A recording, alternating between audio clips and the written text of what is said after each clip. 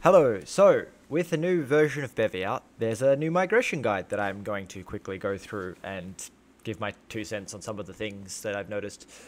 And, you know, basically just for people that don't want to have to read through the whole documentation yourself, get an idea of what's in there. Uh, so we'll get started with the camera driven rendering. This is mostly a bunch of find and replace because they renamed the perspective camera default and now it's, you know, camera 3D bundle default, and then there's the uh, orthographic camera was uh, the new 2D is now just a camera 2D bundle. And then if you want to do an orthographic 3D, you need to spawn a 3D bundle and change its projection to orthographic and just put whatever appropriate settings.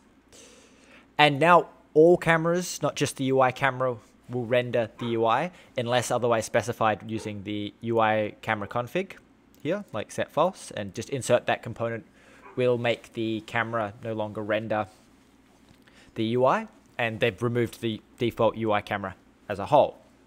Uh, there's a small error here in the, the log, but they've changed world to screen space to world to viewport, and the parameters it takes are different. Here it shows just two parameters, but if I go back to the actual update log, they show that it used to take a whole bunch more parameters so that it could calculate and get the window size. Now that's all stored in the camera, and it no longer needs that. Visibility inheritance, the change you need here is that if you have something that is visible underneath a parent, the root node needs to have visibility and compute visibility, which can be added with the visibility bundle. And it recommends that if you're using the transform bundle to swap to the spatial bundle, because that adds the transform bundle and the visibility bundle together. And if you want to check something's visibility, you use its computed visibility instead of its visibility and can check dot is visible and there's other variables like uh, is visible in hierarchy and is visible like on screen. I think is visible viewport, which checks frustum culling but not the uh, hierarchy. Uh, use the so they changed global transform to use um, which is another way of storing uh, rotation and, uh, and scale data as an array instead of as vectors. And they're basically saying that they replaced the translation with the translation getter uh, method. So you basically just have to find and replace and put parentheses on the end. It doesn't make much of a difference. And if you need access to the old style, you can use to, to scale rotation transform method. Uh, to spawn a scene, you now have to use the, uh, you just insert a scene bundle into the uh, command instead of the spawn scene specific command, this will then spawn the scene with the entity that is returned as if you were spawning any other bundle.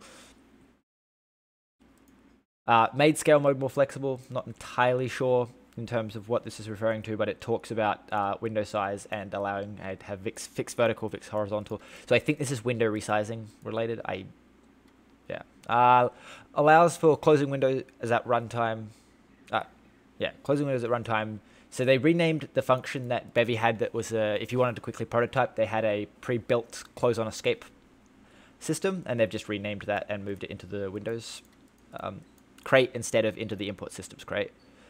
And then they've changed close window to window close, and it's basically just a, again, find and replace, rejig some systems.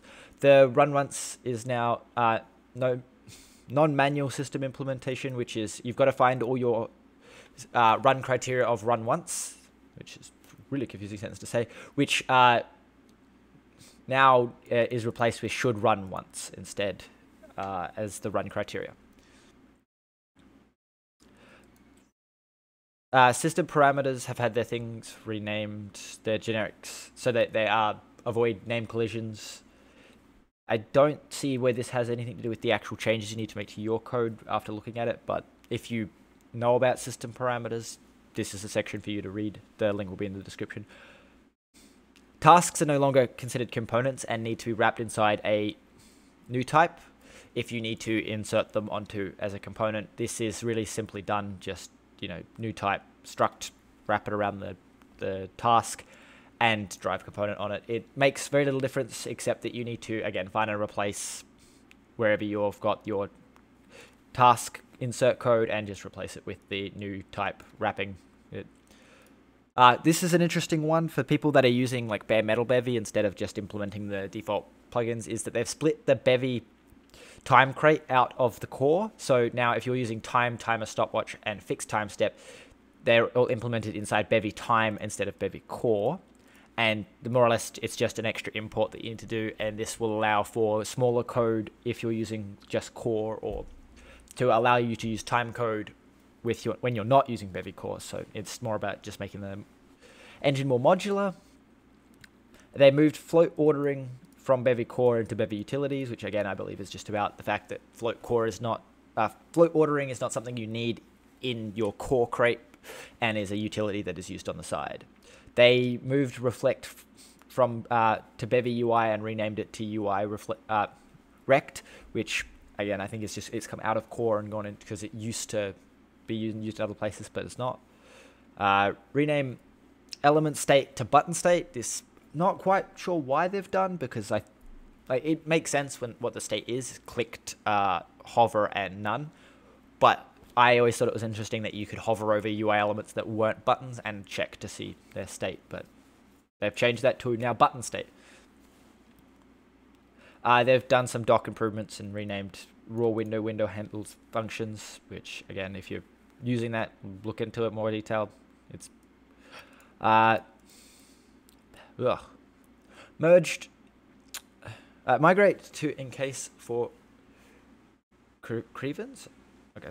Uh, basically use shader type instead of as std 140 and uh, as std 430.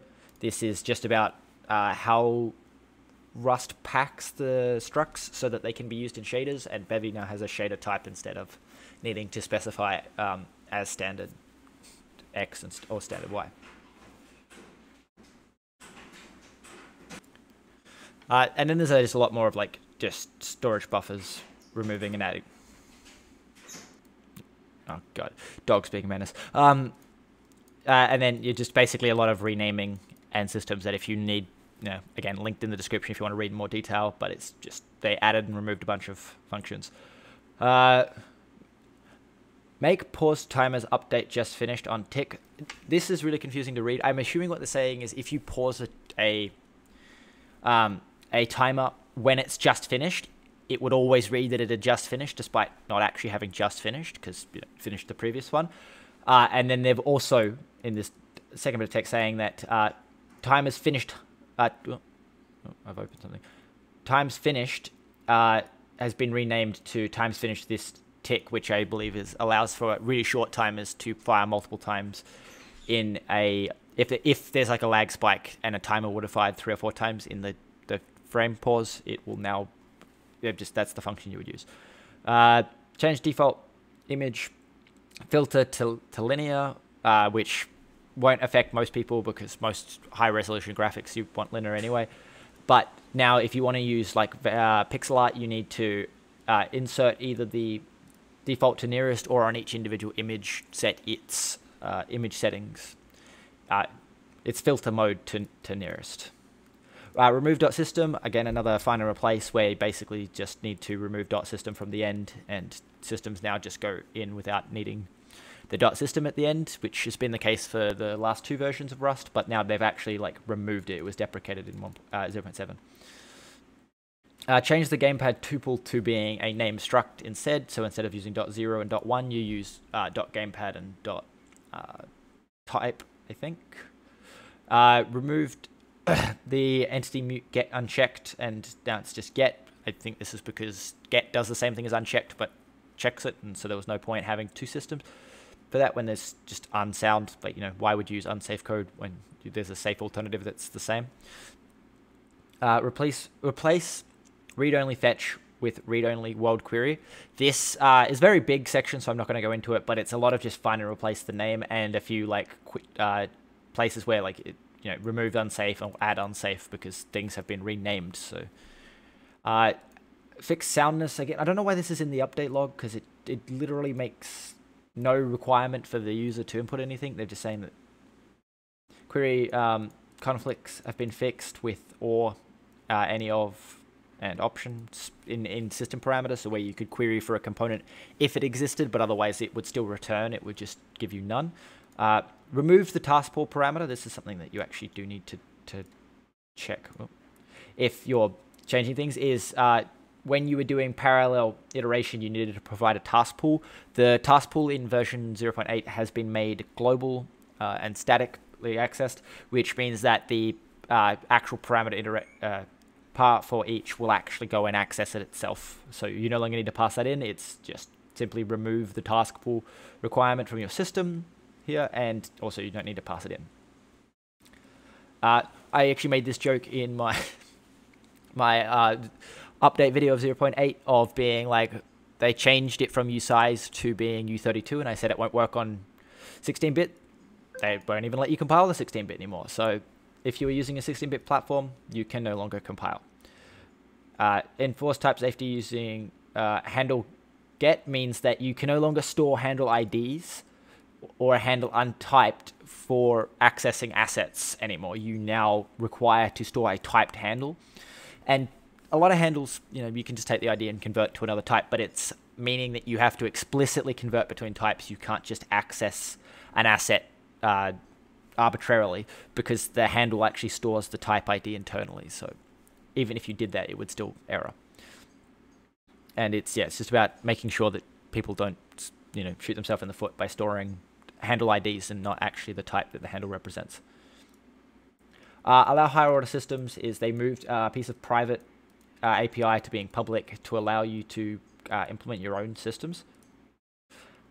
Uh, I think this is systems that implement systems, but again, I'm not really sure. It's just says it's less error prone and doesn't make any changes again for the user, which I don't know why is in the migration guide then, because it's saying that this is a private API that's now been exposed publicly, so there's literally nobody would have access to that code um, on a developer level. Uh, added offset parameter to texture atlases, which is going to be a pain in the ass to fix for people, is basically you just need to find and replace the from grid with padding and put a vec zero a vec20 at the end, which is just the offset from the corner that the mesh starts at, or the, the, the sprite sheet starts at. And this, yeah, it's, it's just hard to find because it's not, it's not just a find and replace, you have to actively find and go to the end. Otherwise, you know, whatever name you've parameters. I guess you could use a regular expression. That would be a way to find and replace. Anyway, moving on. Uh, split mesh shader files, which if you're into shaders, this is something you should probably read, but it's uh, just seems like a few renames and split things into smaller groups, uh, as I mentioned in my update video. So you'll need to import more specific things, and th some things have been renamed.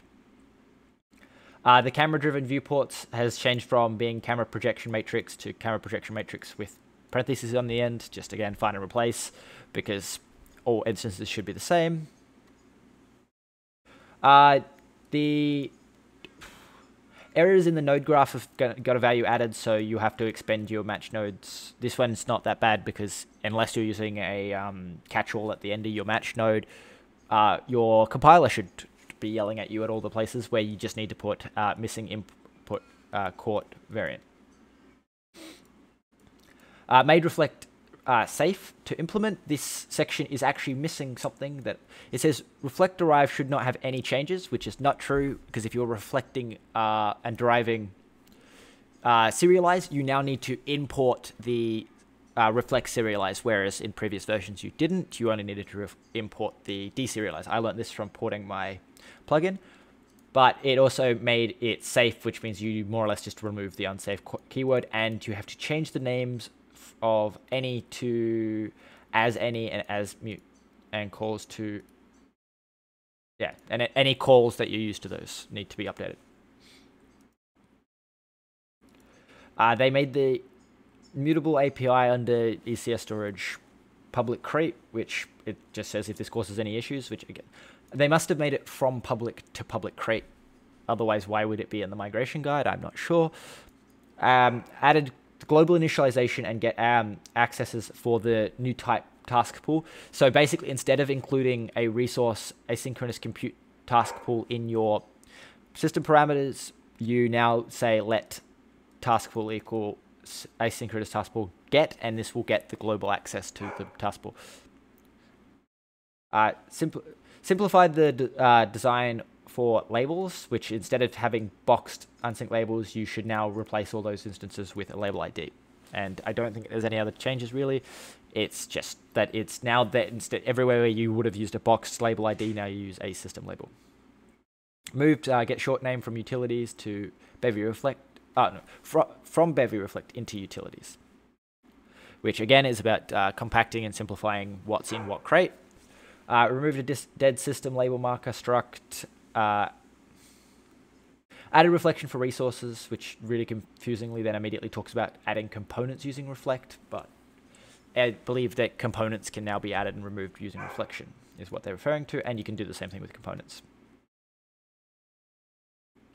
Uh, make reflect partial return more accurate results. Basically, when you did a reflect partial equal, it would return some false uh, when the comparison could not be performed, which uh, leads to confusing errors because instead of telling you that it failed, it tells you that they're not equal, which is not the same thing. So now it returns none if the comparison fails, not if the comparison is not equal. It's if something else goes wrong. Uh, render stage extract now runs on the render world instead of on the normal world. This won't make much of a difference, and if you're actively in the rendering thing, you should read this section. But it used to, commands would run on the world the normal world instead of on the render world during the extract stage of that world, and they've changed that and updated it. Again, link in the description if you want to, if you're actually interacting with the render world and need more details. Uh, improved gamepad button detection is basically gamepads used. The D-pad was considered both a button and an axis, and now it has been removed from our axis and is now just a button instead. Uh, change world position to being a vector is instead of using if you were using set world mode uh, resolution and set resolution to dot, uh, logical resolution. Instead of being a tuple of u size or a tuple of u uh, f32, they're a u vector and a vector 2 respectively. Uh, full documentation for Bevy assets. Uh, and they so they renamed get root path to get base path, and this is to remove confusion with the root path and uh, basically the distinction between the asset path, which is from your root path where the assets are located, and the actual path directory that the application is running in. So this just, yeah, removes some confusion. Hierarchy's been changed, so you can no longer uh, access them directly. They've been made private, their fields. So instead, you need to replace parent dot, uh, replace parent dot zero with parent dot get, replace child dot zero with unwrapped the children. So basically children is now just a wrapper around a vector. So you dereference it and you'll get the array. Uh, remove blanket serialize deserialize for reflect of generic types, which is when you used to register types, they would also register their reflect and uh, they would register their reflection serialize and reflection deserialize variants as well. Uh, this is for generic types. I believe it will still do it on non-generic types. I'm not entirely sure. But basically for option vect and like hash map and that, it used to register their serialization to deserialization. Now you need to specifically do that manually. Uh, lighter no default features is they've removed assets and scenes from being default features. Again, they seem to be moving towards Bevy being as small as possible unless otherwise specified, which again, default features, they're, they're turned on. Like I believe that they're, they're default features but they're not enabled with the no default features uh, thing. So this means that if you're using bare bones Bevy, you will no longer get assets and scenes as a like mandatory enabled. Uh, improved ergonomics and reduced boilerplate around creating text elements is they basically uh, was re they renamed with section to from section, and you no longer need a text align. And if you do want to do text align, you need to replace where you were using in text align to the with text align um, instead. Uh, and then they added a query stage get single mute unchecked manual uh, and it's family which is just changed and also yeah so they changed the system query single error to a query query single error uh, and they also they tracing tracing Tracy updated from 0.8 to 0.10. Uh, this requires Tracy version where when using the Tracy feature is now 0.08. I don't really know if that again makes any difference as a migration feature. Outside of people that were directly using Tracy would have to then also migrate. Anyway, thank you for watching the video. Like, comment, subscribe. I hope this has been helpful. Uh, and I'll see you in the next episode.